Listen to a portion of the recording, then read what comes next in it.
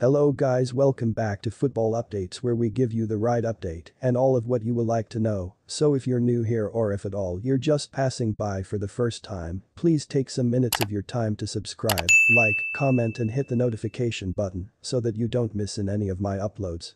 Barcelona coach Xavi was disappointed with Dembele's move to Paris Saint-Germain.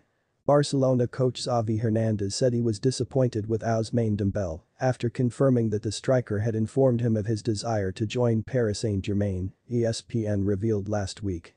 Barcelona and Paris Saint-Germain are still negotiating a fee split, which is expected to be around 50 million euros, $54.9 million, but the transfer is expected to be completed in the next few days.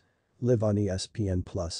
La Liga, Bundesliga, more, USA, I'm a bit disappointed, Xavi told Catalan radio after the team's 1-0 win over AC Milan in Las Vegas on Tuesday. He told us he wanted to go to PSG. We tried to keep it, but there was nothing we could do.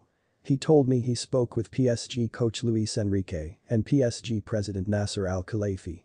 There is no way to convince him, this is a final and personal decision. PSG made an offer completely off the market.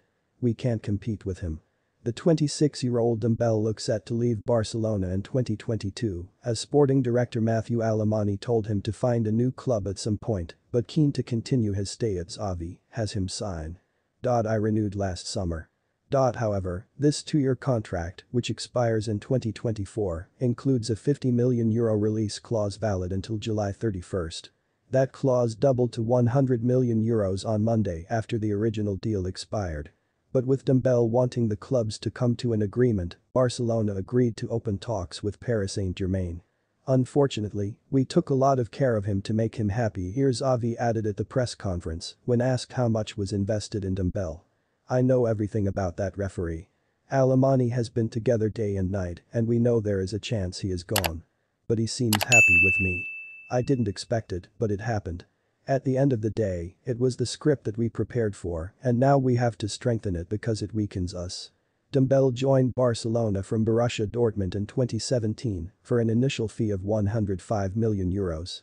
Injuries disrupted his time at the club, limiting him to just 185 appearances in all competitions, in which he scored 40 goals. Thanks for watching to the end and guys don't forget to subscribe like this video, share and your comment on the comment section below your comments matters see you next time.